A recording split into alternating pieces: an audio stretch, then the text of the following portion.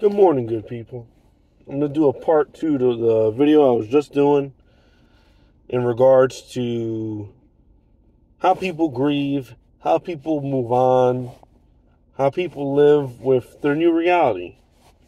And all I can say is, you know, you just got to be positive and not let the negative thoughts of death or losing somebody creep into your mind.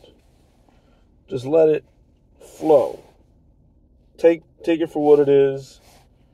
Accept it and don't let it kill you. At the end of it all, we're all going to be in the same place. And I don't mean in a negative way, but as far as I know, they haven't figured out a way to be immortal. So, you know, just understand that who knows what's after this. I don't know if there's an afterlife or something more after death, but it would be nice to think that there is. Maybe, just maybe, when all this is said and done and we all have our day, we get to see the people that we lost when we were alive again. And it's supposed to be positive. It's supposed to be something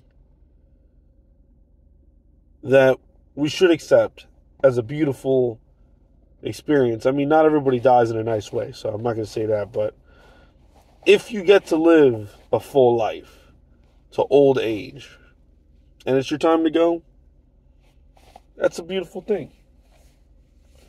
It's a beautiful thing to accept, to live with, to be like, hey, you know what? I made it this far, and no one's really, you know, no one's putting me down. I, I got this. I earned this, you know?